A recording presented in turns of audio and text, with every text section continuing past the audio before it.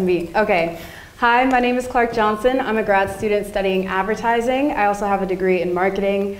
Um, uh, should I say anything I'm working on or? Yeah. Okay. Share a little bit what you're working on. So I'm currently working on two different projects. One is an app to try and make waking up in the morning a little bit easier as well as making you feel a little bit more confident with what you're wearing. I'm really excited to launch it. That's hopefully coming out by the end of this semester. And then I'm also making a fashion media series which is kind of aiming to challenge how people view fashion so you might not think you necessarily interact with the fashion industry because you might not think you're super stylish, you might not think you're fashion conscious, when in reality, every day when you choose an outfit, it's subconsciously driven by the fashion industry and you might not realize it, but it's true. So I want people to kind of redefine where they think their place is in the industry and kind of challenge those norms and take more risks with their style. Awesome. Thanks. Do you like my outfit?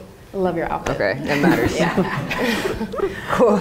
Uh, my name is Kelsey Davis. I'm the founder and CEO of CLLCTVE. Uh, CLLCTVE is a portfolio platform that connects creators to paid opportunities.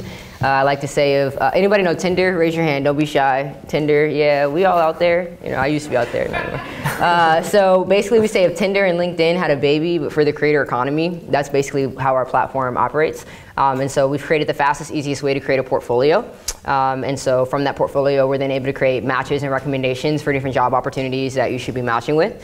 Um, in a very Tinder-like way, you could then swipe uh, to meet and match with different brand opportunities and brands can then easily view your portfolio. It speeds up the, the screening, recruiting, talent acquisition process. And so we're basically you know, solving for creative staffing uh, in this new world, uh, which uh, you know, I could talk a lot about. So uh, throughout that journey, I've done you know, Techstars, I graduated um, from Whitman uh, in grad school and then went out to LA to do Techstars. Along the way, I got Forbes 30 to 30 and a lot of other cool stuff. So excited to be back just to share. Hi guys, I'm uh, Nick Moscatiello. I'm a junior here. I'm a TRF major. Um, a little bit of what I do is I started up a visual production company called Project Freefall. Um, what we do is we partner with music artists and we help build them up through uh, TikTok content, Instagram Reels content, and music videos. We even um, are launching our first short film next week. Super excited about that. Um, and what we kind of found out is that a lot of rising artists don't have the budgets to afford big scale uh, media campaigns. So what we kind of came up with was in exchange for our services, having them perform at our live concerts, which we're having our first one this Saturday super excited about. Um, and basically, we take the proceeds from those concerts to fund their media campaigns. Amazing. Thank you, everyone. Obviously, uh, one of my favorite things about this panel is that every single panelist is in a different part of their journey, both as a student but also as an entrepreneur. And given that, I'd like to ask what inspired you to start um, on this journey? What was the catalyst? I would say for me, I've always been very entrepreneurial ever since high school, I had a folder of different business ideas and I thought going to business school would be the perfect way to get started and I'd be so excited and you know I'd be in there and I'd pitch all these ideas to my professors and they'd be like that's great. And then I got to business school and it was like your idea sucks. And it wasn't only just that it was kind of like here are all the reasons why it sucks. Here are the financial issues the accounting issues. It kind of felt as if it stifled any creativity I had. And it almost instilled a fear in me to fail. And I think that that is still something that I'm trying to overcome. But I think switching into Newhouse kind of gave me this confidence to start pursuing opportunities because it's the perfect mix of, I'll say, being innovative and creative. And that's what I need to actually start pursuing what I needed um, to make. And then I also ended up talking to Kelsey back in March, right before I decided to commit to grad school. And something she told me is don't be afraid to fail. That's like the one thing you can't do. So I think that's where I'm at right now. And that's why I'm pursuing this. Lit. Um, I'm like, yay. Because uh, failure is inevitable. Like, you're going to fail. Like, and what's failure? You decide that. Um, yeah, so I got started uh, basically by my sophomore year. I was a television, radio, and film student. By the end of my sophomore year, I was skipping Schoonmaker's classes um, and Sean Branagan's classes. Yes. uh, and traveling around the world producing content with my favorite artists and brands like ASAP Rocky, Lil Yachty, uh, Coca-Cola, Land Rover, Puma, Condé Nast. Um, and along that way, I just saw a lot of issues. One with being on track to graduate. And then uh, two, uh, in that process, basically, I saw a lot of issues with how creators and brands connect, like literally. So a lot of the opportunities I was getting, I literally like get phone calls from producers, uh, you know, who maybe just have my information from previous call sheets or different, you know, projects that I worked on. And I'm literally like standing outside of like Newhouse 2, like talking to a producer, and they're like, "Hey, can you be in LA?" Like in three days. And I'm like, for sure. Like, I have nothing to do. Uh, and so I eventually got to a point where it was like, all right, like, you know, I have to figure out a way that I can still graduate. I was a Posse scholar. I really cared about, you know, education, um, less so in the academia type of way, and more so I understood the value of being uh, in this type of environment and just having access to these types of resources, even outside of the classroom, but just still in this type of Newhouse environment. And so um, I basically started building a collective of creative peers around me who were in different classes that I had, or different students from U Albany, Cornell, UBuff, RIT especially, they're lit. Uh, and I was like, yo, like I can't do this project, but hey, I have this student in Rochester who's really good who probably can make that happen, or et cetera. So then I found myself basically trying to aggregate their data to be able to send it off to a brand, and that looked very complicated. So I would say, hey, Clarke, you're interested in this opportunity. Are you interested in, uh, or like send me your portfolio? So then they'd maybe send me YouTube videos. TikTok wasn't a thing at the time, but they'd send like Instagram videos, maybe some stuff they submitted in Blackboard, some stuff they have in Google Drive, and then I would have to kind of curate that and get that off to the brand so that the brand could be like, okay, yeah, I see their stuff, like they're valid, like let's go. And so then I started learning about like product and technology because I was minoring in the iSchool. And I was like, whoa, we need to build a software company. Um, there's not at all an easy way for creators to communicate who they are and what they do. For example, who in this room has a portfolio? I'm going to take some time for a second. Who has a portfolio? Raise your hand higher. Come on, it's a big room. All right, um, let's just go by. Like, how? What? What platform do you build your portfolio on? Just scream. Just shout out. Squarespace, Squarespace Wix, GitHub. GitHub. That's an interesting one.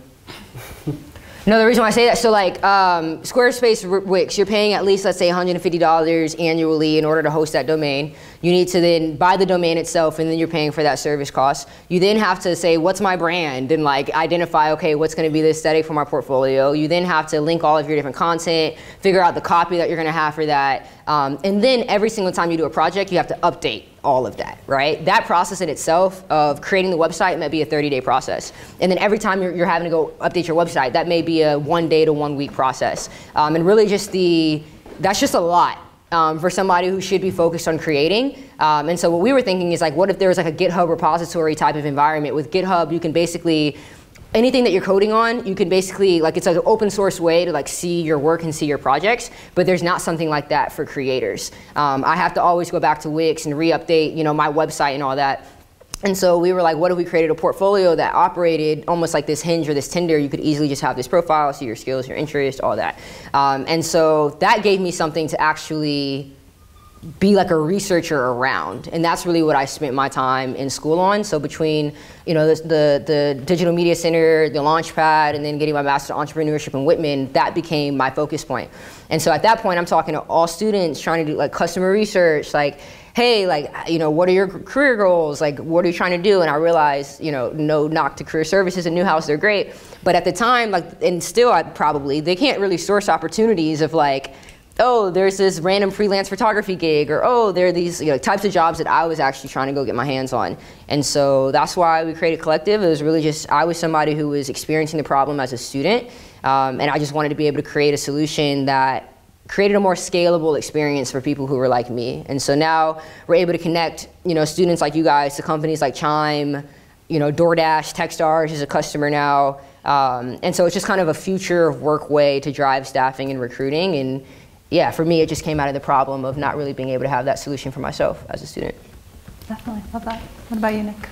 Yeah, so I kind of got started. Well, I, I was always kind of trying to create something. Uh, in high school, I was making videos just with my friends, and then when I got uh, here at Newhouse, I tried making like videos for the sports teams. I just I just tried creating whatever I had the opportunity to create.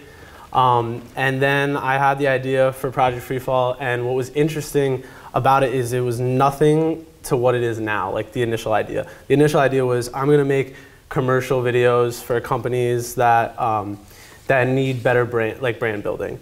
And I did that for like two months and I realized I hated it. I was like, this is the most like boring work I've ever done. And I had a, a friend here that was uh, a music artist. Um, his name's St. Luke. And I just was so inspired every time I listened to his music of just like ideas for videos, ideas for videos. And I was like, why am I not doing that? Um, so then I just switched the model to focus more on music artists and had so much fun with it. And literally like fell in love with it and I knew it was like right and so I just kept going with it. Um, one thing that I think is like interesting about that though is like as you're like thinking about what you want to do, be open to change and like expect that like it's whatever you're thinking like it's gonna evolve into something else and it's still like what we're doing right now is still evolving like every every week or so project freefall like we we slightly tweak our methods and we, we do something new Amazing. And you've all touched on the fact that you've been able to leverage the community around you um, to be able to develop this. What have you found are your best resources when it comes to being at Syracuse University or Kelsey during your time here to help build out your vision, right, as that shifted and changed? I used to like hang out outside of board meetings and stuff like that. Um, For clubs? Yeah, no, like of the oh. university or like of Newhouse. Uh, mm-hmm just to like uh yeah like try to get information from like a Scooney. I'm just gonna keep referencing you this whole time and be like, uh, hey, there's kind of something important on campus. Like, what are they doing right now? It's like, oh, a board meeting at 3:30 at this office. All right, like, I'm just chill. And uh, I would just like I would just you know try to take the things that maybe aren't the overt things that are like people are just throwing to you, mm-hmm. such as like join this club, which I did. I'm an AK Psi. Um, shout out to AK Psi. Like, uh, and I was orientation leader. I loved that. Um, but for me, it was really about like how do I get access to the people. Um, and so that was like alumni, board members, faculty, staff, um, even people out in the community. Um, I think there's something, the same thing that attracts me to a Newhouse, I have to imagine that something relatively parallel maybe attracts you to a Newhouse or attracts, you know, Stanley to a Newhouse, whoever he is. Or like there has to be something parallel. And so for me, it's like, what's the through line of like, why you care and why I care. And, and it may not be all the same things, but I think whatever that through line is allows you to take something like showing up to a professor's office hours and now you're in there for an hour having a conversation maybe that started about the curriculum but but now that is you know so much bigger and deeper than that. Um, and just seeing the university as a research institution research institution i didn't really value that until i got deep into my entrepreneurial journey because all i'm doing as an individual still in my day-to-day job is research. Like talking to customers, investors, like seeing the market trends, looking at companies that fail, IPO, um, and just trying to see, you know, there's the trends, like what's happening in the market. Um, and so I think that Newhouse, specifically in the context of media, is a place where kind of the highest level of, of research in the context of media is happening. Um, and so I wanted to stay close to that. And I think that I, I, I uh, appreciate it more and more, like as I like get out of Newhouse. Uh, whereas like now in my career, I'll be at you know uh, NABJ or uh, these random places, and it's like wow, Newhouse runs the world. Like oh, that's cool. It's real. The stuff they real. tell you is, is real. The Newhouse Mafia slash family, depending yeah. on who you speak to, is very very yeah. real when you. Yeah, I feel there. like they're trying to stop the mafia language. I know. I'm sorry. Yeah, it's whatever. Uh, Why would they do that? I see what's looking at me. I will, but I, I, will echo what Kelsey was saying. I don't think I appreciated. Um, I, I, mean, I took as much advantage as I, I thought I, I, could as an undergrad, but I didn't appreciate the uniqueness of the environment and the community that you have here. I don't think you deeply appreciate it until you're in an environment that's not that, yeah. right? Whether it is you go to another institution or you go to corporate or you work yeah. at a traditional firm or anywhere, you just, it's not the same kind of learning. Well, I'm curious, y'all, you transferred and then you're yeah. grad student. So talk about so how are y'all? Those transitions.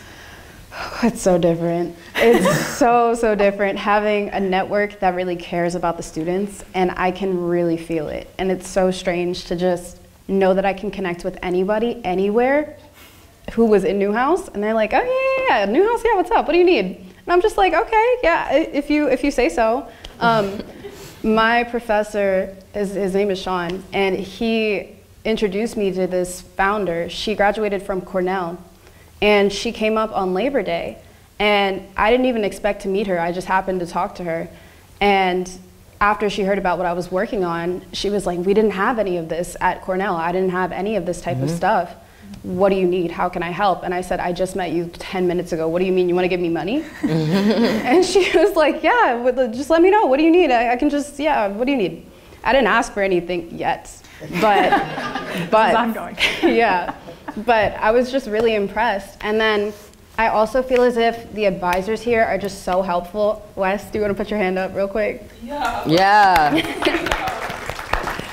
I think it was during boot camp, which is the six, very intense six weeks uh, that all grad students have to go through here, where we are just in class eight hours a day, nonstop, three assignments due a day type of thing. I remember I had a break, and Jada, you want to put your hand up? Jada is the one who pretty much convinced me to switch over into Newhouse, and she said, okay, if you want to make things happen, come here. Go find Wes. So I went to Wes's office, and one of the first things I said to him was, I want to be a face of Newhouse. That was it. And I've bugged him just about every other day since. Every other day. And every other day, he's down to help me. He's always giving me suggestions. He's always directing me to someone to talk to or things to do. He'll give me things to know about before I even go into a meeting with the dean. I have a meeting with the dean next week um, to try and get myself sent to a little festival. we'll see how that goes. But um, the dean was like, just so you know, we only have these limits. And I said, oh, I know. Wes already told me. Don't worry about it. So it's just so different to have these faculty and alumni so ready to help you out. Um, Kelsey and I were in the same fraternity, so that's partially why I was able to get in contact with her. But she was just so understanding of how to navigate Newhouse and how to use it to your advantage.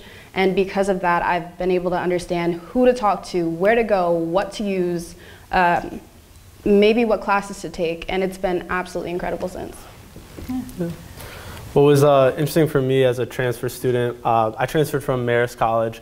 I was there uh, for the first semester of my freshman year, and it was it was really weird for me because as I got there uh, as a freshman, I was immediately given all these opportunities to uh, be like the head videographer for their football team and and a couple other sports teams, and it was super exciting at first. I was like, this is great.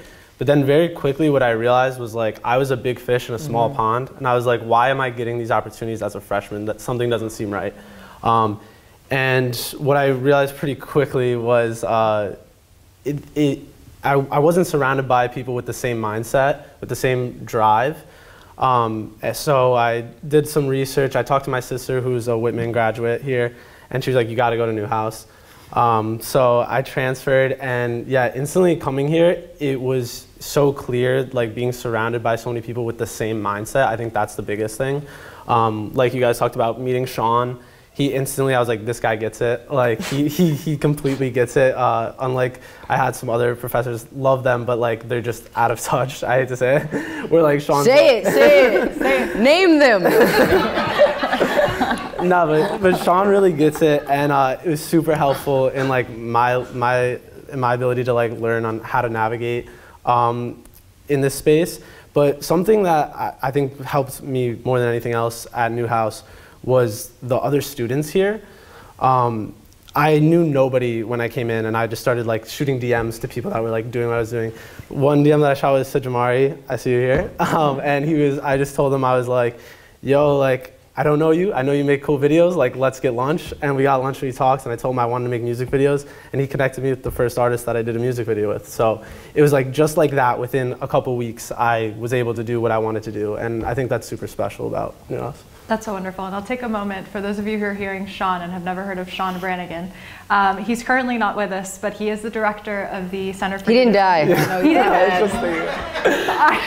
didn't.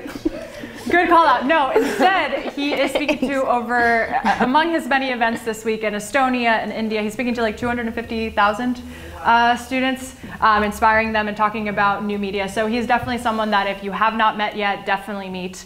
Um, find his office, but he's definitely one of those Newhouse professors that understands that media is ever evolving and that the future is being built here um, and is fully open to helping you make those connections as well as the Career Development Center. So think about this as two resources where you can connect with alumni or people in your industry that are doing really great things. And I really, I, I met him my freshman year in Com 117, and I really appreciated just how um, he really fostered that environment through the startup garage, which I'm excited to share. We'll have a new home in Newhouse One ne- next year, um, but it, it allow you know it connects you with people who are in your space. If you want to build something, help connect you with physical resources or people or students, which I think is a unique thing about Newhouse. Everyone who comes to Newhouse and chooses Newhouse has, I think, really well set why they're here.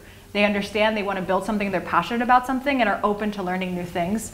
And we all know here that media is about the experience that you have the great thing about the Newhouse degree is you're learning how to do the thing, and then while in the rest of your time you're doing even more things, whether it's internships or building something new or working with fellow students or alumni. So, given that, um, let's talk some about some of the milestones in your journey as entrepreneurs. And again, you all are in very different stages.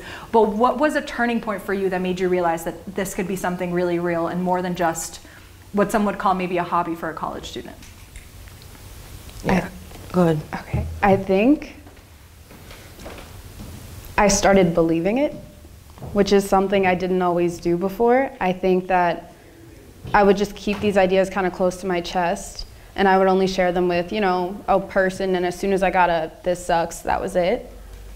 Now, I think because I've experienced so many of those really harsh feedback sessions, I've gotten to a point where it's kind of just like, okay, I'll tweak my idea, I'll pivot, I'll change it. It doesn't have to die. And so I think that I know that I've started to I've started to get to a point where I see something forming that I don't think I ever saw before, not just with the project but with myself. And I'm starting to get excited to fail because it's really just a redirection. I don't think I've ever been excited to fail before in my life, but now I'm thinking about having a failure party or something if it does end up failing. And I think it's going to be great because it's just a chance to keep going and changing and, you know, trying again and again and again because if you never stop, something's going to happen. Yeah. No, I love that. Um, I would say for me, I think the first, well, first we were able to get like $80,000 worth of money before leaving campus just through like pitch competitions and stuff. So I'll say that's the first thing with Syracuse. It's like, I just had a lot of avenues to where I could get early, like non-dilutive capital to then allow me to test these ideas early on. Um, hire some initial engineers, figure out how to build product. Running engineering teams is way different than running creative teams. Um, and so you, you need money kind of to, fail, honestly, uh, in that type of way. So I had that at first. I think those are my first validation markers. So it's like, okay, amongst my peers, like, all right, this is a really good idea. And then when we got into Techstars, getting into Techstars is like getting into Harvard basically for, or let's say, getting in a Newhouse for a media student. Um, and so, yeah, it's like extremely hard program to get into. Um, it's basically the largest startup investor in the world, essentially. Um, and we got into that uh, like when I graduated, and so that was the thing for me. It's like, all right, I need to be able to figure out how I can make money from CLLCTVE before graduating in order to do it full time. So we got into Techstars like in March, graduated in May, um, and then I think the next moment for me was probably Forbes 30 under 30. Um, like I woke up that morning and like before I even like knew like I was getting like emails and messages from people saying like congrats and I was like what the heck? Uh, and then like I saw it and I was like oh shit. Um, you know because that's it's like whoa you know? It's like whoa. Uh, I was 23 at the time, and I think that for me was like, okay, that was like a, a, a, a domestic industry reference point amongst, okay, not just amongst my peers in Newhouse, but like amongst like other people my age and like below 30, like uh, this is objectively great. Um, and then even like two years later, I think it was this past year, uh, they asked me to come back as a judge for the marketing and advertising category for Forbes 30 and 30. And I was next to like the CMO of McDonald's and like uh, one other person. I think like the CMO of uh, Savage Fenty, right? And then like me. Um, and so moments like that are awesome. And then they continue to happen all the time. Like this morning in the airport, like we are checking in in Clear, and like somebody was like, I know you. Like you were on TV in Tulsa the other day talking about AI and da da da. And I was like, whoa.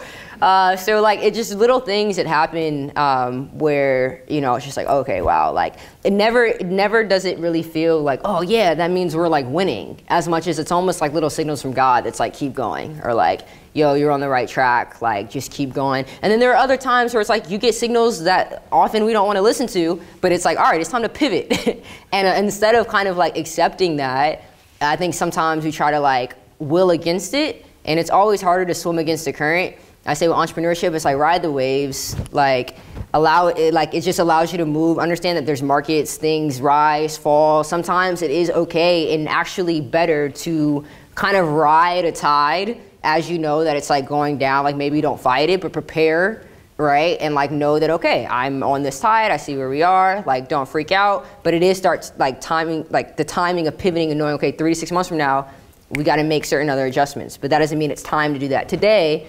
I just feel like something's coming. Let me go ahead and prepare so that then when the thing really presents itself, I'm ready to like make that decision. So that's the thing. Um, I would say it's like milestones are always great. Um, uh, you know, but the, the failures, like they come all the time and they, they come in all different shapes, sizes. Um, so, you know, milestones are awesome. Failures are awesome um, just because it gets you closer to forward is what I say. Yeah, I agree with that so much. I think, um, well, so first, the, the biggest milestone I think that we achieved, and this happened like literally last week, um, collectively over all of our videos, we've reached over 100 million views. Wow. Yeah. So that was a super cool milestone, but same thing. It was like, that's cool, but it's like, not to be like, oh, like we've done it, you know, because it, it's like realistically, like there's so much more that still needs to be done, and there's so many failures that happen to like get to that.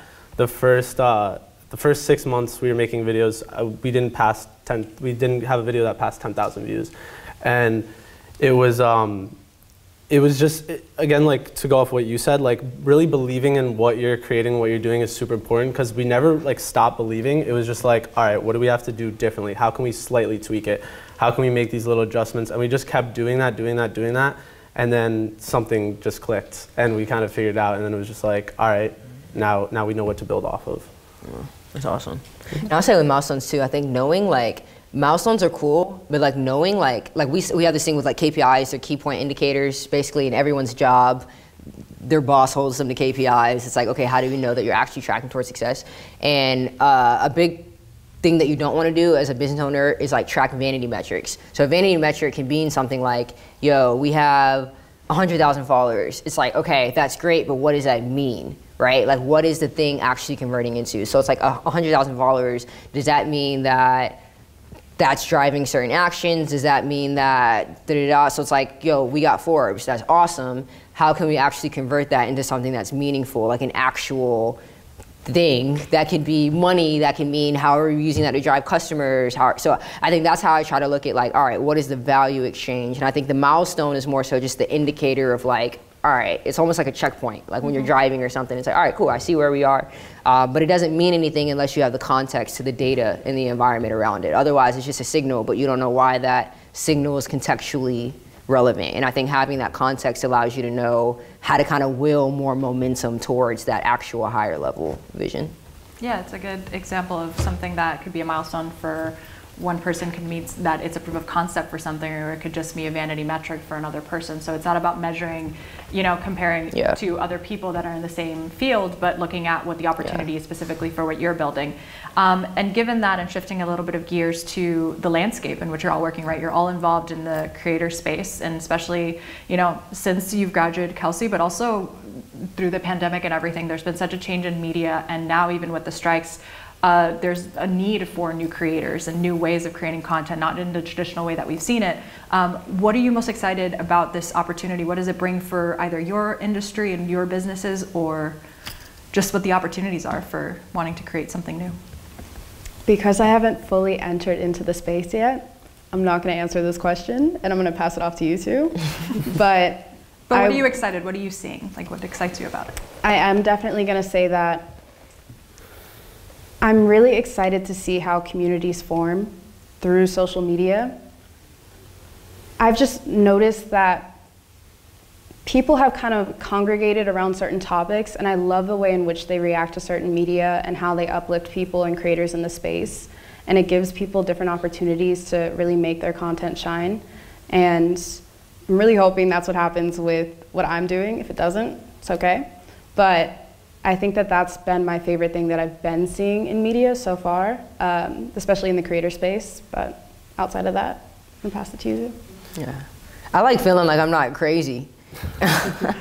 like Scooney will tell you, Sean Branagan will tell you. Like I was like screaming through the halls, like everything's gonna change very soon. like we have to have new classes. None of you are thinking about certain things. Like I was just like, guys, like, uh, and then I remember by the time I graduated, like one of my really good friends, um, you know who I'm talking about, got hired. She was TRF, I'm pretty sure. Uh, she was either TRF or BDJ. Got hired as like a TikToker at like the Washington Post. And I'm like, yeah, yes, yes. And like they were thinking about that though, like in school. Um, but it's like, you know, so I, th- I think, you know, looking at that idea of like, you know, media is entrepreneurship. Um, you know, I have parents that have worked in the journalism industry my whole life and before that. And uh, we've always had conversations like around the dinner table, and I'm like, yo, this is not scalable. Like, this is not sustainable. And like, as I've seen their large news organization, probably I think the number one news organization, I've seen them go through multiple acquisitions. I've seen their share price appreciate. I've seen them try to do a lot of different things or a lot of different electoral seasons to try to like maintain relevancy. And um, it's just that the, the, shifts are changing. I worked at Condé Nast for a little bit, so it's like I saw them, um, you know, at a time where I think that was like 2017, 18, where it's like they're like happy that they survived the like print fiasco into digital that they waited forever to like actually do something about and but still i felt like they were doing the same thing but in the context of technology and in the context of like future with creators. And and at the time and probably it's even worse now at the time 75% of their workforce was uh, was freelancers. And so i'm like man this is not sustainable um, and here we are today. And so yeah i think the biggest thing is just like you know we have to stay on it's like yes we're Newhouse we're great we're awesome preeminence all that stuff uh, but it's like if we want to be able to stay at the pulse, like we have to be technologists, right? We have to be uh, economists. We have to understand the market. We have to understand the technology, um, and we have to understand that media, media is a medium, um, and there will always be these channels, but the channels are iterating.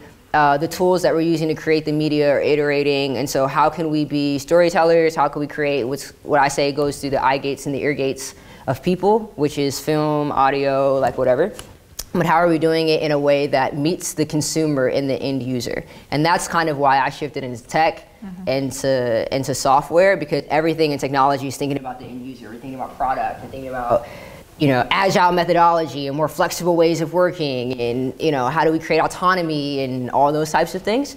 Um, and I think in media, I've seen we're, we're a lot more about like legacy and like all that type of stuff, which, which is great as well. Um, but in the context of sustainability, um, you know, you look at the markets, it's like you look at the top 10 companies right now in America, like they're tech companies, mm-hmm. right? Um, if you looked at that though 10 years ago, a lot of them were media companies.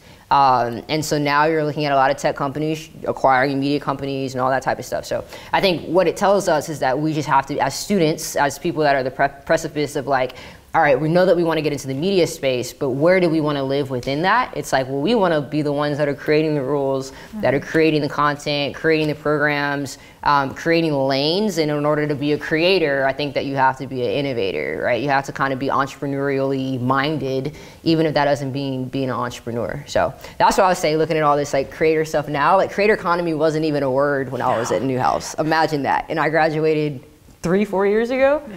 Um, so things are changing fast, and I think they're going to continue to accelerate through things like AI. Um, I call ChatGPT my boyfriend, uh, and it's, it's awesome. So yeah, we got to figure out how we continue to integrate these things because they're not going away. It's actually just going to keep getting faster. That's what I think. Yeah, I'm. Uh, I'm super. What I'm excited about, I think, is just like you said, like the creator economy wasn't a word like four years ago, and I think like what a reason for that is because there's so many more people creating nowadays and that gets me excited because when you have more people creating you have more competition. It goes back to like the the big fish in a small pond thing that i was saying before. Now it's like we have a ton of minnows in a big ocean and it's like there's so many people creating there's so much noise that we're all competing for like somebody's somebody's attention. And i hope and i'm excited that what's going to happen is really the best storytellers are going to rise to the top. The, those are going to be the real people that are successful in this space in the next couple of years. Um, you start to see it right now on YouTube, at least. I'm sure like you guys are familiar with like Mr. Beast and the whole beastification of YouTube and what YouTube has been for the past like two years. And I know a lot of us have. I mean, me personally, I haven't enjoyed that. But what's starting to happen now is you see a shift in much more character-driven content um, much more like storytelling techniques are being used, and it's interesting that now we're starting to see storytelling as a trend, which is very like weird that like storytelling itself is a trend nowadays. I think so. I'm super excited just for the ne- this next generation of storytellers, and I think we're gonna all be like super sharp on storytelling. Yeah, and I think what, um, what we're seeing really is a decentralization of what media could be, which leaves, you know, can be scary for those of who have been in the industry for a long time or thought that that was their future. But if anything, it's an exciting time to be a part of it because you get to build the world that you want to see, which is what media has always allowed us to do when we're telling stories. But given that, um, for someone who isn't an entrepreneur necessarily, is starting their own thing, how do you think they can leverage things like entrepreneurial thinking when they are approaching their future in the media industry?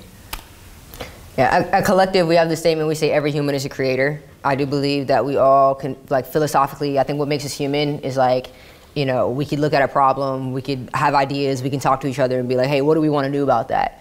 Um, and then you can make something happen. Um, and so I think, you know, you don't have to be an entrepreneur in order to be creative. It's like your God given right and gift I think to be creative just as a human being. And so, you know, go into whether it's into your classroom, into businesses, into your internship, and be a problem solver. Like be a creator in that environment. I think when you're a creator, you're birthing something into the world. Um, and so I was like, hey, like, what did you create today? That could be a conversation. That could be, you know, you created a smile for someone. Like, you created a sense of belonging for somebody. You created uh, a video today. You created, it's just like, what are you doing uh, with these ideas uh, that you have? Um, that's what would be like my advice to like just start tapping into that entrepreneurial spirit. Um, is really just identify who you are as a creator that goes beyond your vocation but really looking at yourself as a creator in the context of your purpose. Like, uh, regardless of what you believe religiously, spiritually, theologically, whatever, it's like, uh, you know, you're here now and you know that you have the power to like do something about that reality. So it's like, what do you want to push into the world? Um, and again, like that could be anything. That could be creating a spreadsheet, creating a video, creating a TikTok, creating whatever. But it's like, what is the gift that you want to bring to the problems that you're experiencing on a day to day? And I think that is how you can just practice the muscle of being entrepreneurial. And to add on to that, I would say that I didn't realize how much being an entrepreneur centered around just relying on your resources, talking to people specifically. I've spoken to more people than I could even imagine over the past few weeks. And it kind of made me realize that you don't necessarily have to be the most creative person, but if you can rely on those resources to kind of teach you or give you the needs or the assets to build your needs or to leverage anything that you could possibly imagine in order to make something happen, just focus on that. I think that a lot of the time we kind of assume that just because we're not the most creative or we're not the most something, we just kind of stop there. But in reality, if you can use those resources to your advantage, you're doing something. That's entrepreneurship. Okay. Yeah, one thing that we talked about a lot is uh, failure and embracing it. I think that's the biggest thing you could do is just embrace failure. Um, at Project Freefall, one of the things we say is like whatever you want to do in life, free fall into it. Just go all in. Don't kind of like, oh, maybe I'm going to jump. Go all in. Do it. And it's like that's really just how you're going to learn no matter what you want to do you're gonna fail and then just embrace it because it's like that's really how you're just gonna get better that much quicker. Amazing. And um, I know, Kelsey, you've had traditional experience before being an entrepreneur, but if you could speak to what are some of the things that you learned from that experience that you took to your own journey? When you say traditional experience, like like, like working in an internship or working yeah, in. Yeah, yeah. So I I worked at two like two different internships, if you will. I was a PA at Condé Nast, and then uh, I was a like creative intern at this like agency under uh, WPP. And the first one, it, I learned like, oh, y'all are not innovating here. Specifically, the agency that I was at, like their accounts, they had like Home Depot, Ford, in the U.S. Marines. And uh, it was just very like it just seemed like everyone was just trying to kind of keep their job like just do the thing. Um, and i also just didn't think that the model of like okay brand is paying this like huge agency on a retainer to like say hey here's a problem that we're trying to solve. Agencies like coming up with ideas pitching it doing everything internally. Like i don't know i just i saw like the org chart the workflows everything and like I was just like, this just doesn't feel productive. Like it, it feels productive enough, but it just did not feel scalably productive. But I didn't have enough work experience to understand why or like, um, I didn't know anything about HR. I didn't know anything about like work for real.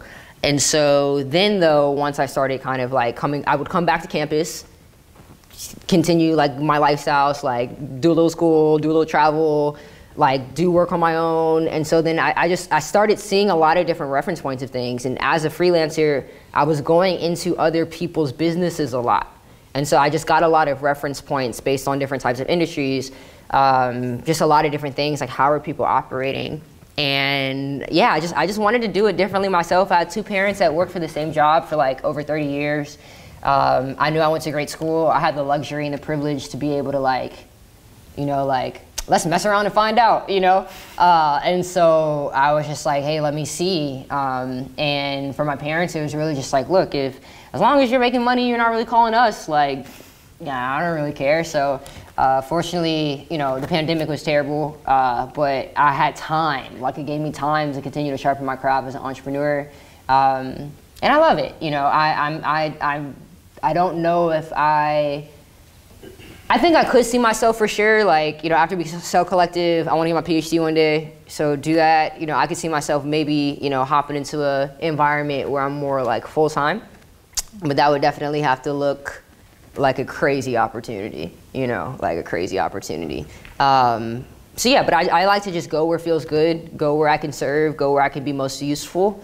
Um, and I have to kind of shadow the line of sometimes people tell me like, yeah, like you want to have fun, but objectively, this is a classroom, you know. So like, there's just a certain way you have to operate, and like shadowing the line of like, for sure, okay, let me not be a, a, disruption to every everybody else's learning experience, while at the same time being like, all right, maybe I just need to like skip class real quick then, so I can like go get what I need to like build my type of environment. So, um, yeah, I think through life for me, I'm always finding that line of like traditional and like standard because I think there's value in that and the idea of like repeatability, predictability there's a reason often why things are the way that they are. Often, mm-hmm. not all the time, but often.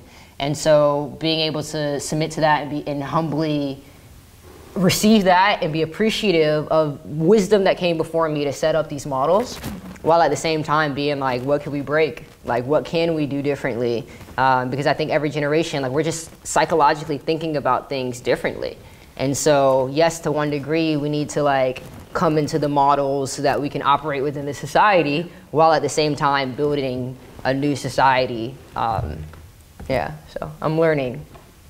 I love that. Um, I think I also want to get to tactically for those in the room getting to learn about um, how to actually leverage. So you've referenced a little bit of that, right? During your Newhouse experience, whether it was working around how many classes you could miss or leveraging things like um, competitions. Mm-hmm. Can you all share at least one you know, piece of tactical advice that you think uh, Newhouse students should know to be able to leverage and get the most out of their college experience?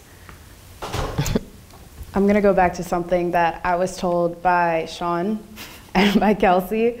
Um, oh. Yeah. So, someone starting a sentence of "I want to yeah. go back to what I was told Sean by Sean." And Kelsey it's very like, uh. It's a good thing. I promise. It's a good thing.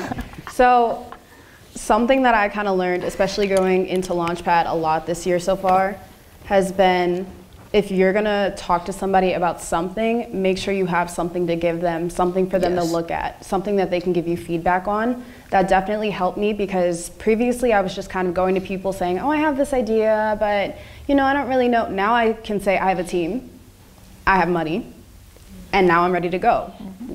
Can you please tell me what I should do from here? What next steps I should take? Do you have any past experience that could be applicable to this situation?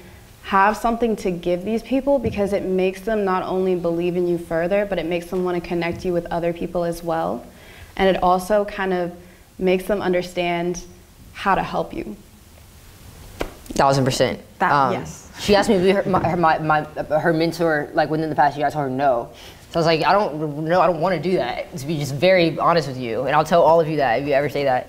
Um, and she was like, no, but it won't be hard for you. Like, she basically told me no to your no. Uh, I'm just gonna come to you like if you need. Basically, I was like, all right, I do like, that a lot. Um, but like if you do, just like don't. I don't want to like don't email me and be like, hey, can I pick your brain? Like, I'm not a freaking weed that you can just like. No, I don't want to just get picked.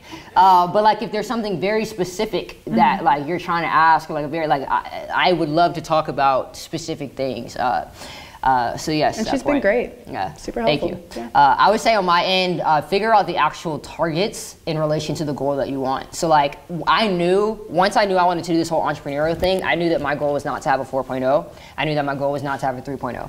My goal was to graduate.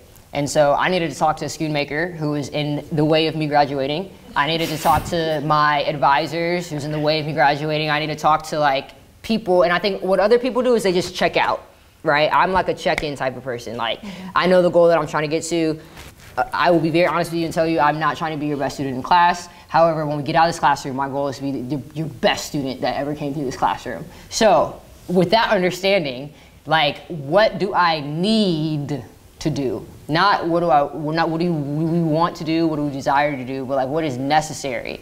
Um, and just understanding the literal. So I would literally get a syllabus, look at like they tell you, all right, 10% participation, da da da da, and I would find the formula. Like, what is the formula that allows? So it's like, all right, this class, I can miss four of these classes, and then that wouldn't, you know, dock my grade only this much. All right, if I, you know, I would just figure out the formula. Um, because that was my goal, right? I knew that my goal was to graduate. There are other people, like I say, like, yo, if you want to be a doctor, I don't want my doctor like you know what i'm saying? Like i don't want them to for that to have been their ideology. Like i don't want that you know? But like that's not my thing you know? Like my lawyer i want you to be in the top 10% of your class.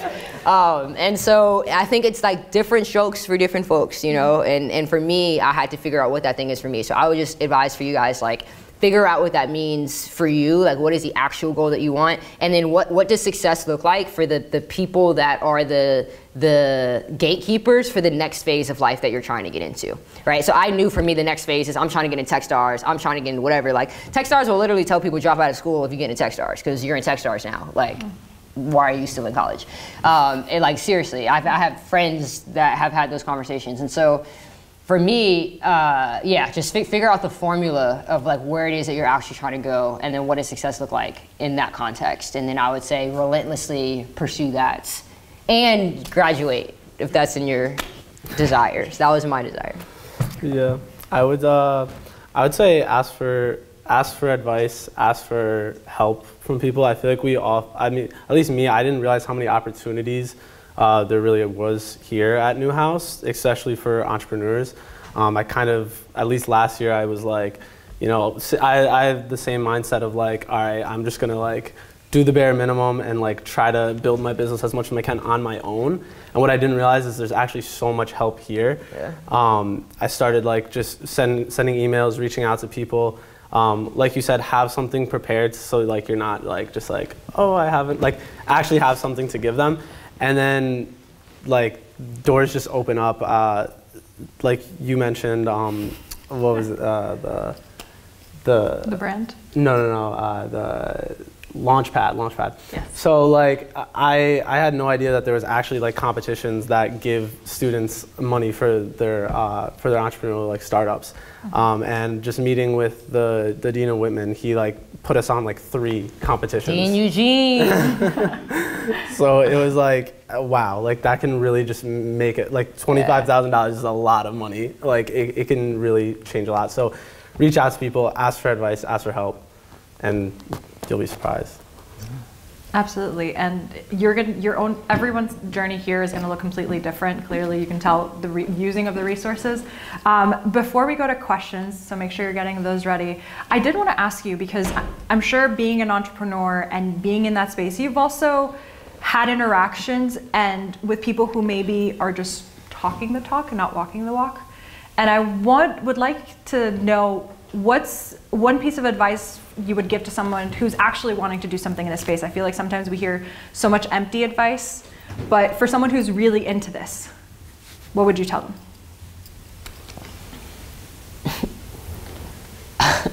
we see through you. That's what I would say. That's what I was waiting for. like it's like I I, was don't, like, know, I don't know she's how gonna to say it. Like like uh, it's like man, you know, like you, I hopefully you guys have some level of like consciousness and awareness. Like, kind of know if someone's lying to you, or like, you know if like someone's like BSing you, and it's like, all right, bro, like get on my face, bro. I'm trying to buy a drink right now. Like, you know what I mean? Like, you know when somebody's like, all right, bro, like what, what do you want? What, like, what do you really want?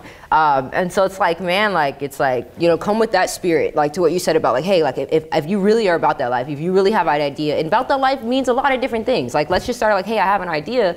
It's like, well, what are you doing to like show for that, right? So it's like, uh, I have creators literally like come to my house, call me every single day, like anywhere from oh they have hundreds of thousands of followers like they're just getting started, and like they'll call me, they'll be like, yo Kelsey, like I know what you be talking about, and I just want to say I'm ready. Like I'm ready to go. I'm just ready. And I'm like, what are you even saying right now? Like, like what are you talking about? Like, okay, like what specifically do you want, or do you need, or are you interested in, or you want to build? Like, what's the thing?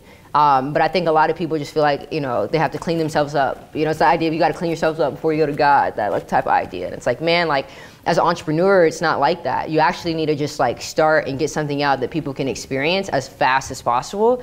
They're probably gonna hate it. Like they're gonna be like, "Yo, this is trash," and you you have to be honest and be like, you know what? It might it might be, it might not be, but let me ask more people. Let me give it to more people. And then it's like if you talk to ten people and nine of them was like, "Yo, this is trash," like that's data. Like, who's to say if it's right or wrong? But it's data, and so you should use data, have that linear story, and then like you know. So um, there's room for everybody. Um, I would say like the tech space, especially once you get into like venture capital, all that, like it's a different world. It's a different game. Um, so just understand that the entrepreneurial life is, is a good life, it's fun life, but it's also it has it has whatever systematic issues that you feel like you're dealing with in your life. Get into tech and entrepreneurship, and it'll 10x um, basically, in terms of just those like systems uh, that are like set up for or against certain folks. So uh, all of that stuff is real. So just know that you're going to be bumping up against a lot of stuff. But at the end of the day, it's like, what do you want to create today? Um, so that's what I would say. If you want to, if you want to start, start with something, and then bring that something to somebody. Even if it's, you know, whatever gift you have to bring. Like, um, I'm trying not to do too many biblical references, but like it's the idea of like, man, if all you have is like the ability to like play your harp for somebody, like come and like play. Like if if if what you have to give is ten dollars, like give. Like and you know just just what is it you know that you can bring in the person like i didn't need to get a whole business plan from her to have a conversation but i do need you to be able to articulate your idea and like show me something so that we can start from there um, and so that's what i would challenge you guys to do it's like you don't need to be perfect but garner whatever it is that you do have to then be able to articulate your vision and make it clear so that then other people can engage and integrate with it yeah i would say um, it, it is really fun to like imagine businesses and to come up with these ideas. And I think almost anybody can imagine themselves being an entrepreneur. And but once it starts to become hard work, a lot of people aren't ready to put that in. So if you are like really ready to go all in and like do it, just be prepared to make sacrifices. Mm. Um, I think that's what a lot of people like when they start. They they don't realize like how many sacrifices you actually have to make with that being said, don't sacrifice like your relationships with people, but definitely like be prepared to like miss out on some fun for more fun hopefully later on. That's exactly how it happens. um, I think coming into this year, I already knew that I was not going to be having any fun. I would not be going out at all. My weekends are dedicated to really, yeah, whole year. It's wow. Year. Sacrifice. I mean, yeah. I mean, everybody has their formula. Own, yeah. I mean, I've already had, I've already had four years of Q's parties. Hey, I think I'm, I'm kind of over it at this point, but. I've been fortunate enough to know what it feels like to really dedicate yourself to something for a few months at a time. So a year, I got it.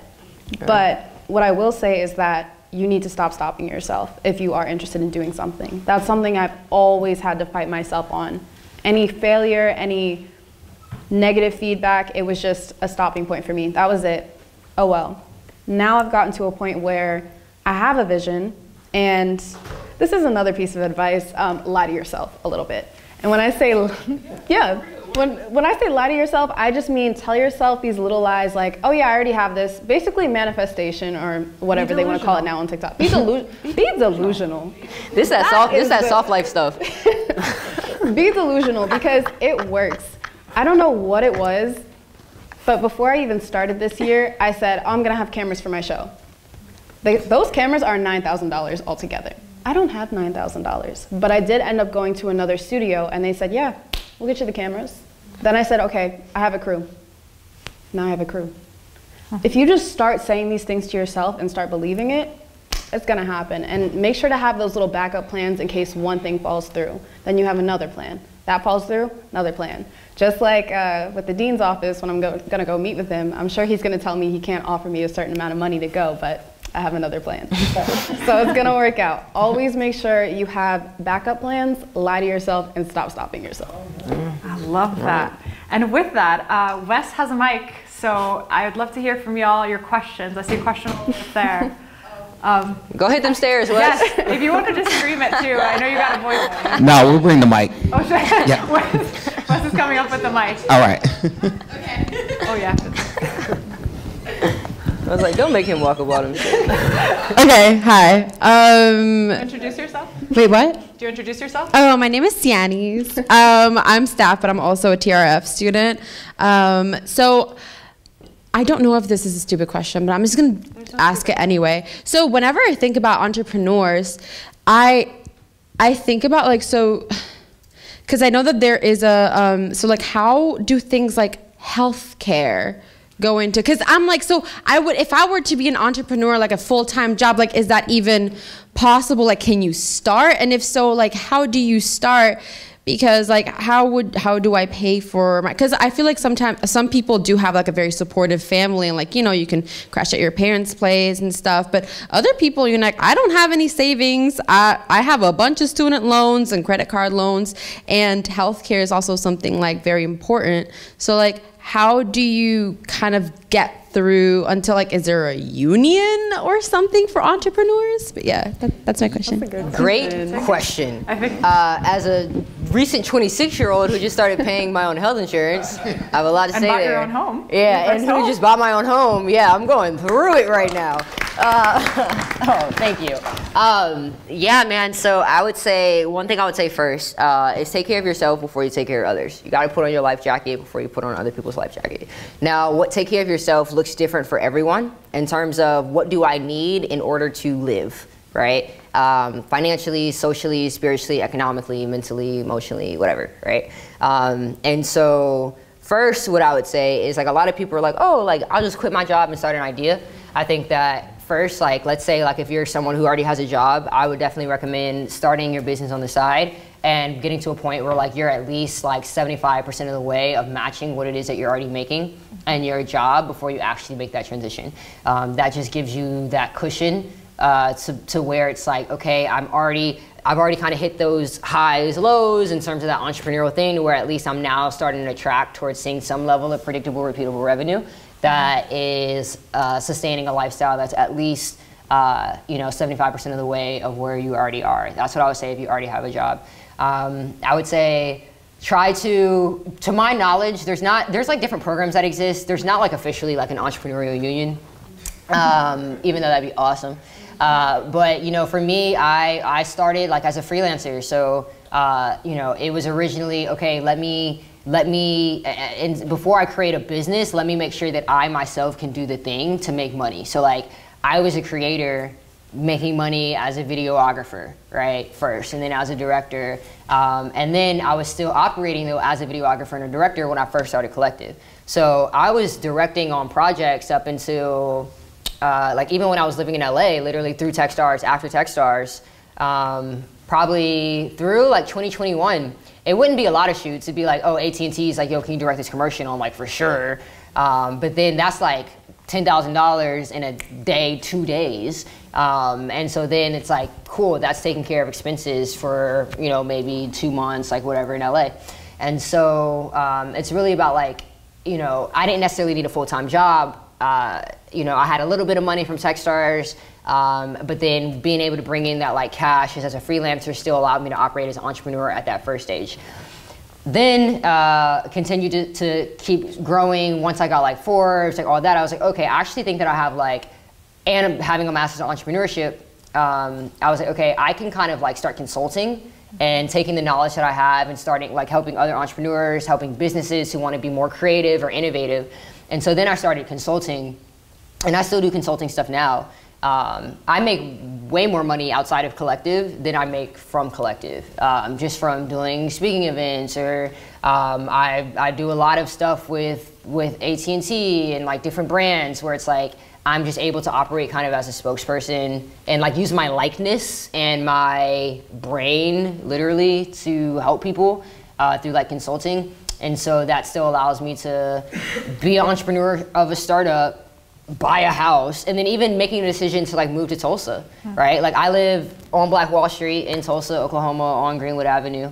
Uh, and I was able to buy a house for like 250k, three bedroom, two bath. My mortgage basically cost what my rent did in LA, and uh, in a couple years you'll realize how great that is. Um, and There's so no for, yet for that, but trust me, it's really it's good. really good. Uh, and, but for me, it was like, yo, I had to make the decision to not live in LA. I had to make like certain sacrifices that are like, yo, like, what is it that I actually want to garner from my life? Um, but now I live in Tulsa, I could buy a house. Now I could, I'm investing in other companies. Like I have more income to do other things. So I would just say like, it's not a one fit model. It's like stagger it in a way that allows you to get what you need at that stage specifically. Um, try to hit a next milestone at that stage, and then make a decision to like kind of fall back on something else. But I would say, um, in my own experiences, I, I think that like if I if I wasn't at Syracuse, I don't know if I would have. Um, I, I had the privilege and the luxury, the free. I had par- I had posse, but also like my parents were paying for the rest of my school, and um, you know I could just go home. I knew if everything failed, I can go home, and my mom will make me food and allow me to sleep for free, right? Um, and so there's also a certain privilege that I had in that to be able to just like try really, really hard.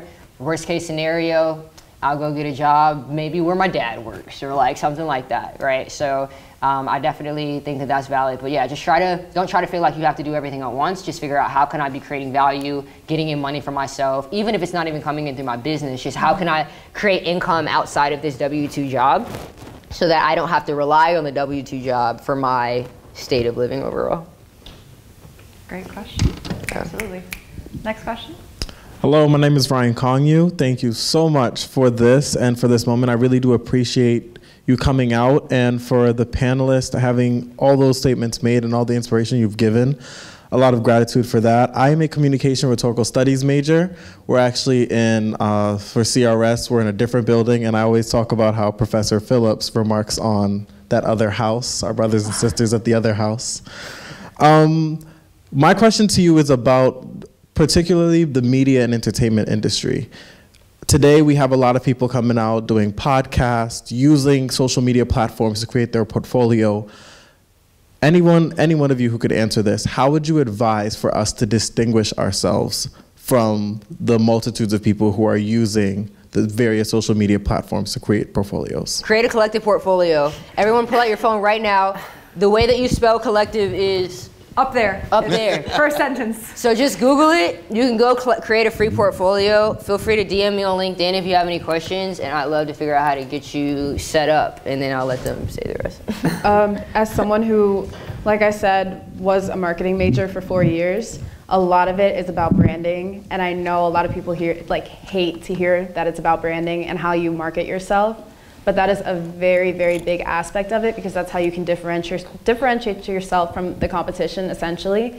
But you also need to make sure that when you're doing this, you have a human aspect to you because what I've noticed is that a lot of creators now and it's not necessarily a bad thing because it is a way to make money but they come off as so money driven that they become distant from the people they're trying to connect with Yep. so you need to make sure that you do have that human aspect you are you know in real time responding to people. It's called social listening when you are actually monitoring people who respond to your content and you can respond to them in real time. Um, it's it's something that makes them sticky consumers that's what we call them where they keep coming back to your content and they get excited to engage with it because they're expecting you know maybe something from you. That is if you are doing that kind of content creation. So that's what i would advise. Yeah, I'd agree. Uh, definitely be yourself at, at its core. Be be weird, be different, but um, don't be too different in the sense that like you'll stand out, but you aren't gonna be able to um, actually garner like the the audience that you're looking for. So what I'd say is look at concepts, look at proven concepts that work on in, in, the creator space, um, and then look at what hasn't been done with it yet and what it, what you can do to make it unique and make it uh, individual to you. But I would say definitely looking at overall concepts, you can already give yourself a huge head start of like how you can create um, successful content. Yeah, and I'll add to that too because prior to being here, I've worked for 10 years both with creators and brands on the storytelling front. And I think echoing what Kelsey was saying earlier, it's very clear to see those who are inauthentic, and I know authenticity is a is a buzzword, but every at least in my career, and I know in a lot of other people's, every job that I've gotten is never because of the job that I currently have, but always because of the thing I'm doing outside of it. So whether, you know, I was at a, a private equity firm, but I was also where I still am, the senior director of alternative programming at Prodigy Media, that's the thing that allowed me to connect, um, you know, and be here at Newhouse. So I would just say leverage what you're most interested in, what your passions are. Every one of my students knows I'm a super huge fan of motorsports. So I pursued something there where I was able to use my skills to engage in that, and that's how you end up building the future that you want for yourself. Not what you, you know, what the other person's doing, right? You can look at everyone's portfolios and try to compare yourself, but it's really what are you most passionate about and what can you bring in? What makes you the linchpin, whether in your own organization or in someone else's? And that's the key thing you have to communicate. However, whether you know, do it on CLLCTVE. Yeah, and then you're and then you're, you're you're you understand how to create a decision matrix for you of what's a good opportunity. Mm. Like me and my partner, I joke all the time. Like people present me opportunities every day. Mm-hmm. and it's funny to me to examine how much do they know me based on what mm-hmm. opportunity they present to me because it tells me the knowledge that you have. Like, do I think this is a good ar- do I think this is a good opportunity or or like for Kelsey, it's often rooted in like what is your understanding and knowledge of me, mm-hmm. right? Um, so like I can say like yo I have this awesome shirt for you and you're like I hate that shirt. Like it's like no, but it's for you. It's like well, what reference points are you using to like say it's for me? Like maybe we have a different decision matrix of like what good means for me. And so you have to create that for yourself based on how you build your portfolio. So that if a brand is sending you an opportunity or if somebody's recommending you, it's because based on what it is that I'm seeing, like I can very clearly see what good opportunity means for you. And so even with our portfolios, we allow creators to very clearly articulate not just their skills and their projects, but their interests.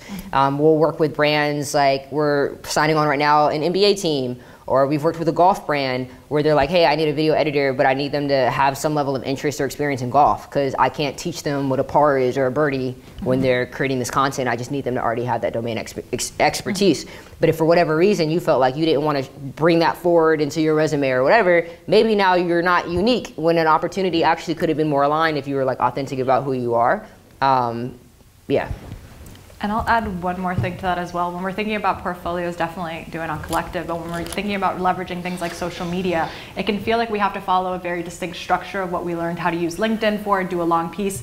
It's not about that. It's about making authentic connections. There's people in the industry who are passionate, whether they are part of the Newhouse family or they're a part of you know a separate thing everyone's if you're excited about what they're doing they're going to be excited too if you bring something to the table so be authentic be open and interested if you're interested in golf if you're interested in formula one if you're interested in whatever music is your passion communicate that because that's how people will find you and how you'll find your next opportunity other questions we have some down here too wes when she's when you're ready hi Hi, um, my, my name is Mylon Hawkins. I am now a current grad student here for television, radio, and film. Very excited. Again, thank you guys so much for taking the time out of your day to come and just speak your wisdom. You guys are all dynamic and amazing. Um, I don't know. I'm just very interested, I guess, in how people operate on an everyday basis. And you guys all talked very heavily about your motivations as well as inspirations behind everything you do. So I guess, like, I wanted to ask who or what or whatever the driving force is that keeps you accountable each and every day. My partner's sitting right here, babe. If you want to stand, yes if you want to stand, please. Let's all Right to the clap for her. okay, so like, man, like, it's like ever since I met Elle, it's like that was a piece that I needed. to, like I, I eat better. You know, it's like it's like I'm, I'm I'm vegan now. I have a routine, relatively. Like it's like I my lifestyle is actually sustainable. Um, I'm into like agriculture and like gardens and like just just a level of grounding that actually allows me to participate in all of this stuff. Um, life is crazy for me, often on a week to week, but on a day to day, I try to find vacation through the day. Um, I very much so don't want a life where everything feels like work. Um, you know, and I love work, but like it should feel like passion play.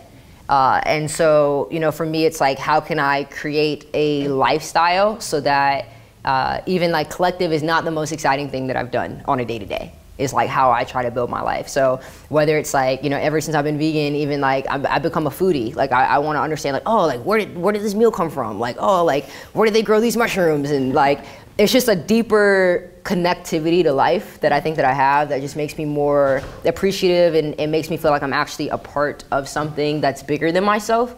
Um, and that's been very grounding and it also opens my brain up so it's like in an interesting way it grounds me while also expands me at the same time um, and so, yeah, that's one thing I would say. It's just like finding it, it, it's just finding the like-minded energy that is actually driving you towards your goals. But that that thing may look different. Like I never knew that that thing would be agriculture and like you know like oh health and all this stuff but interestingly enough like it paired so well with the things that i was already thinking about and why i moved to greenwood and why i moved to black wall street all had to do with this idea of economic sustainability and community and togetherness.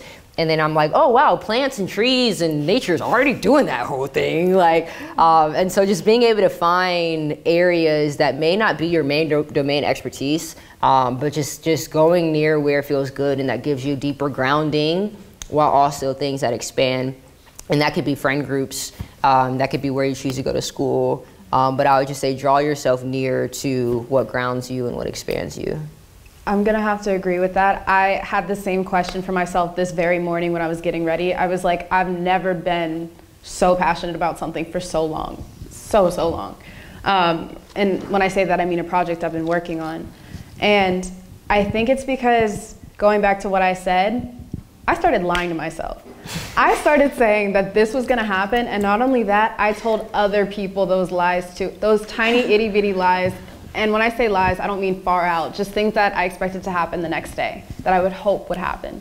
And I started telling them to Kelsey, and then I started telling them to Sean, and then people at Launchpad, and then it was like, I, gotta do this now. I really gotta do this. And because of that, they started connecting me with people who are just as excited about my idea as I am and it started to become fun for me. So it's become the highlight of my day. Love, love classes. Classes are great. Newhouse is wonderful, absolutely wonderful. But when I get to leave and I get to go to the launch pad and sit down and talk to people who are just so excited, and I meet with my team of software developers, and you know they're so excited to talk about my idea and everything, and all the things we can possibly do, and the branding and how we can make it look, and who we're going to connect with. It just gets me so excited, and it makes it easy to stay motivated. And I think that when you have fun with what you're doing, it stays so much easier to just be inspired and you know stay motivated and keep going at it every single day. Yeah. Uh, what what helps me stay motivated is definitely surrounding myself with uh, similar energy, building a team, build a team of people that you're excited to be around. Um, I know there's a lot of times, like I'm human, we're all human, like we have self doubts. We we say like, oh, is this really gonna work? Like, oh, what am I doing? And then I just remind myself that like I have people that are like that are, are, are expecting something from me too. Like I, my business partner Thomas couldn't do it without him. Like anytime that I have a little bit of self doubt, I'm like, got to do it for him. And he does the same thing. Anytime he has a little bit of self doubt, he's like, Nick's counting on me. It's kind of like having like a gym buddy. Having somebody that like you can lean on in those weaker times helps a lot. Yeah. I'll just add community. So it's echoing a lot of what everyone has shared, but having community, whether it's in person or um, online, is super helpful because it reminds you of who you really are. Sometimes you can forget in the middle of the hardest time of your career or when you're juggling a lot, and it's nice to come back to it, right? So definitely community. Thank you. Um, good afternoon, everyone. My name is Van Norris. Um, I am on staff as well as a producer. Um, I'm also in the TRF grad program. Um, just want to say appreciate y'all first of all for being here. Um, I guess my main question is I also appreciated your heart reference. Um, my mom used to tell me that a lot. Um, I'm someone who's very big on uh, like just knowing your role sometimes and like the director doesn't have to like try to be the producer the producer don't try to get like just doing what you're good at um, I guess thinking of your own creative spaces, how did you all navigate um, within where you want to be long term? Going from like the beginning and just being able to hone in what you were doing at that point in time and having a big picture in mind later on, if that makes sense. Yeah, I, I was originally uh, supposed to go to Florida State, play basketball. And long story short, like God told me, no, don't do that. That's not the plan. And I was like, all right, bruh. So what is about to happen? Uh, and so for me, it wasn't until later. So that was one of the instances that happened. Another in terms of transition. Another transition then that happened was I went from being like a director to like a founder, right? I didn't realize until being a founder that being a high performing D1 recruit and being a director and being a startup founder are very similar vantage points. Um, if there's two minutes left, we're down by four, the ball's in my hands. I see the floor, I see the defense, I understand what's happening, what's been happening historically all game, like who's hot, who's not, like all these things have to go through your mind and you have to facilitate. And you have to say, okay, who's gonna have the ball? Where do we need to pass it to? What's happening? Like you're thinking through all these things and you're, you're facilitating. Uh, as a director, it was the same way. I love walking in a set and having like, let's say, call, a call sheet of like 30 people was like my favorite scale size where it's like a classroom of like all right y'all like what's up? Like how's everybody feeling? Like even coming in like 110 where we at? Like and checking in with everybody like all right who's my P- P- pa like all right who's AD like checking in and like to everyone's roles and like I really do believe it's like, man, if you're AD, like you know an AD, like you you should be able to know, like, okay, no, like you're definitely a line producer, or like, yeah, no, like you're definitely a director, or like, no, you're definitely a PA, because the way your spirit shows up to that thing, me, like you know you're in the pocket, right? Like you know that you're playing your role well. Um, and so yeah, I had to realize that like, oh, there's a lot of transferable skill, transferable skills. Uh, you know, from again like being a being a director and then going to a startup founder, where it's like, all right, every day I'm looking at the markets how much money do we have in the bank? What's our runway? Uh, you know, we, oh, we need to go get investors. Oh, we need to get team. Oh, somebody want to quit. Oh, somebody got an attitude in the meeting today. Like, oh, like just random things that are always happening and, and to say, okay, like it is my job to direct. It is not my job to do everything. It's not my job to, it's literally my job to come in, understand what's happening around me, and to make sure that we tell a great freaking story, right? Um, and if we need to, we can go in a post and like, you know, make it a little bit better. Like if it didn't, if, if, if while on set we did not accomplish everything it is that we need to accomplish, there's still a way to still come back on top and like, you know, integrate the things that we need to into that. So I would just say learn less so about figure out like, oh, who am I going to be for the rest of my life? Like it's more so like what do I know I'm actually kind of good at that I know that I enjoy? And but what's the actual thing right? So it's like I know that I'm a director I know I enjoy being a director but what's what why do I enjoy it? Like what is it about directing specifically that I enjoy? And then based on those things are there other areas in my life that I'm also doing those things that I don't even consciously recognize that I'm also showing up the way I'm showing up as a director I'm showing up that way here? Um, and continue to, to, to, to kind of like get that data um, and it exists as metadata around you. Like it may not feel super hyper conscious, but the more that you then recognize that it's it's it's real data, and then you could use that to make all your future decisions of like, do I want to do this? Do I want to do that? It's like you already know how you feel in that type of environment, even though you've never been there before, because you know how to kind of take other skills and kind of predictably be like, oh, how would I be in this environment? How would I be in this environment? Um, so I would say try to pay attention to those types of things more so than the thing that you're doing yourself. Or say, hey, you know what? I, I don't want to be a, uh, like I knew I didn't want to be a DP. For example, I was a videographer and I was like, all right, I definitely need to transition to be a director, not a DP. Because being a DP was way too technical for me.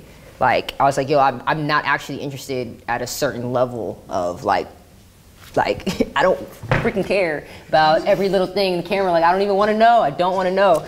Um, and so I had to learn, like, oh, wow, I'm not that analytical. But some people may think, oh, no, but a DP, that's super creative. But, like, I saw it as, like, a very technical, still role. So I would say try to examine not just, like, the role that you have, but, like, the why of, like, why you like it or what it is that makes you tick. And then try to find those types of roles in a lot of different things. And should test that out.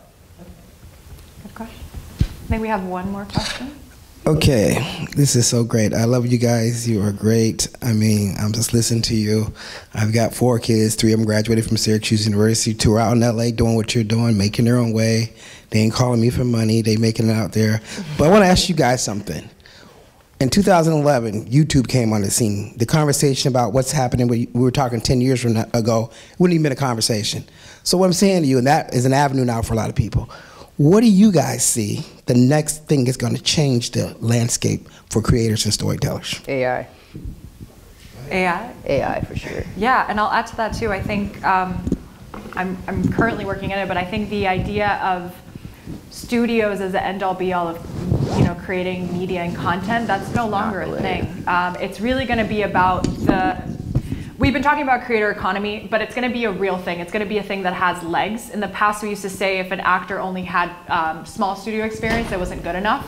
But given the fact that right now we're dealing with strikes where if we're comparing it to baseball terms uh, people are no longer playing in the minor league in the major leagues because the minor leagues have better benefits um, it's going to be about those minor leagues stepping up and really telling new stories, giving new opportunities, and changing what we know as media. Everything from what we're creating, who's creating it, who's leading it, who are the gatekeepers, right? Because that's why I came to Newhouse. I was like, who's making the decisions and why?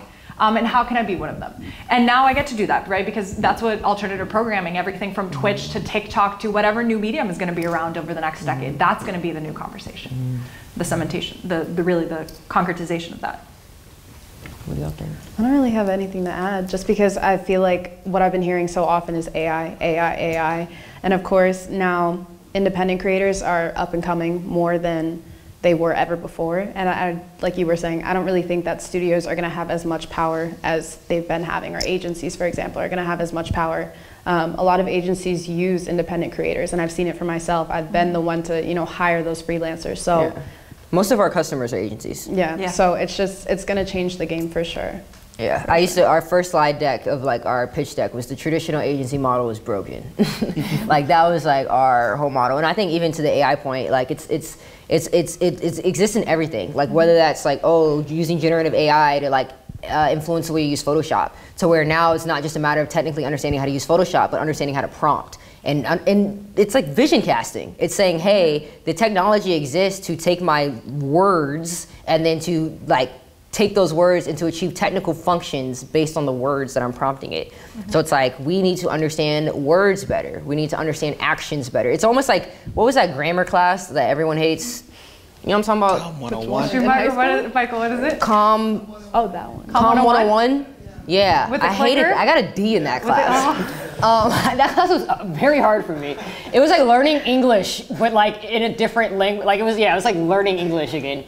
Uh, and but the idea of like really being able to break down mm-hmm. words and really understand, okay, if I'm saying, hey, create this in the style of this, or saying, hey, create this in the likeness of this, that means different things mm-hmm. kind of to the technology, right? So I think us being able to really understand as creators, not just how to, how to create the thing, but how to prompt tools to create the thing. Um, and so I think that's what it is like with AI for me that I love. It's it allows us to take this whole entrepreneurial creative mindset that we talked about um, and literally maybe not even have to have the technological tools to build it. It's way easier to build software these days, um, the same way it's way easier to make a video these days. So I think that the level of playing field goes up then for the storytellers and for the creators to have great ideas, great visions, and then to be able to know how to vision cast and articulate that to the technology or to the people so that then they can create the thing. And I'd, I'd like to add with a specific example. One of the shows currently on my slate is using generative AI to tell the story about karting races in over 40 plus languages. So another thing that my students who are here and those in the class, um, they know that I've been saying, this is about a global market. This is no yes. longer about what's happening in the yeah. US. And I feel like Newhouse has always had a lens of what's happening in the US, but it's a global market you are not just competing, but you're collaborating internationally. You're making content in 40 plus languages at the drop of a hat with the tools that are available now. Imagine in 10 years what AI is going to be. So, and those companies also, what I'll say too, are like primarily domestic, like U.S. companies originally. Mm-hmm. YouTube, TikTok, or not TikTok, YouTube, Facebook. Twitter, Twitch. like yeah, Twitch. You think about those like early creator economy companies. A lot of that is starting to change. Mm-hmm. You look at the companies now that are really starting to take off uh, yeah, like we're, we're getting global. But also what's great is like our distribution mm-hmm. is is way more grander. A big reason why we moved to Tulsa with CLLCTVE is because market share. Like think about what we can do taking over the market of middle America, right? Mm-hmm. Like in the in the midst of this creator economy boom, mm-hmm. it's like then we want to go to Africa, right? Like yeah. then we want to go to like South America. It's like we're literally trying to uh, yeah, like there are creators everywhere, but all these markets are untapped. And so now for us, it's like, all right, like how do we raise the, the flag and say, hey, at least, hey, everybody create a portfolio. And then once everybody has a portfolio, then now we've built this global workforce. Now we have their updated data in terms of what they're working on, what they're skilled at, what they're interested in. And then now all these brands all across the world can tap into this global workforce of millions of creators. Um, it's kind of our North Star goal. We gotta talk. Yeah, right. let's, hey, let's talk. All right. Well, Think we're at we want to thank our panel here for, for coming today. So thank you to uh, Professor Martinez for leading the panel, and then of course uh, Nick Kelsey, uh, and and oh geez, I'm sorry. It's okay, Wes. Okay. I'll be in your office. I know, I know, I know. Uh, yeah, Clarke, thank you so for, for coming. So, but yeah, thank you all uh, also for coming as well. I know some folks have some questions. Um, I will say there's another group that's coming in right after, so that's why we have a hard stop at five o'clock. But we're not done yet. Um, actually, right upstairs uh, in food.com, off of food.com, which is called Legal Seafood, we got some uh, some snacks here, also some coffee and some juice uh, and some uh, cookies as well for you all to kind of collaborate and, and, and chat also with our, our members who came with us today. So if you had any questions, you can get those answered. I do want to give a couple shout outs to some folks that's also here. Um, we've got Shauna Lawrence uh, from our Career Development Center that's here. So I know you heard all about these creators and positions and looking for internships. Um, Shauna's got some information uh, for you all. Uh, we've got uh, Dr. Raquel Brown Burton that's here, our Associate Dean for what we call IDEA, Inclusivity, Diversity, Equity, Accessibility. Also Professor Michael Schoonmaker uh, from our, our Department Chair for Television, Radio, and Film uh, as well. And then we also want to thank uh, Vince Cobb, who's on the cameras here. Uh, also, Vince works at the Cage, so if you all are uh, with equipment and things that you are looking to do for your projects, talk to, to Vince. Uh, and then last